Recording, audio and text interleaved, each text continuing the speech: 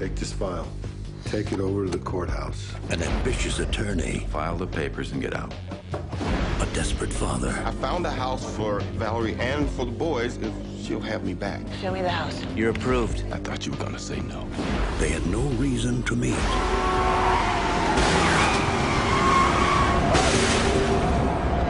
Until today. You all right? Yeah. Are you? Yeah. You got an insurance card? It's only gonna take five minutes. Sorry, I gotta go. Well, can I get a lift? I gotta go, man. I'm late. Come on, man, don't leave me out here like this, Sorry. man. Better luck next time. Hey, you're leaving the scene of an accident. Here to present some papers to the court. What do you got? I made a mistake. Bring me back that file by the end of the day. Hey, guys. Daddy, you're really late. Mom went in already. This guy hit me on the FDR. He cut me off. You know, if this was my marriage and it was this important to me, I would have been here on time. Next case. It's from the file. He's got the file. How'd it go? I'm really sorry. You're sorry. You Want to go to jail?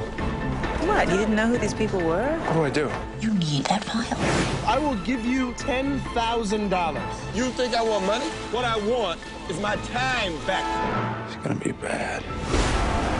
There's this guy. He helps out with things that need helping out. You get your file back. Mr. Doyle Gibson He is now bankrupt. This is a mistake. I need this loan. I need it for my life. It says you're bankrupt.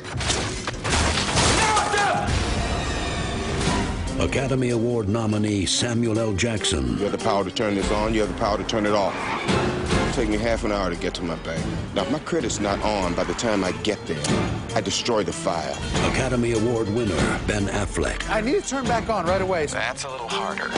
Please, man, don't tell me that. Everything decent is held together by a covenant. And you and, uh, what's his name? You broke the contract.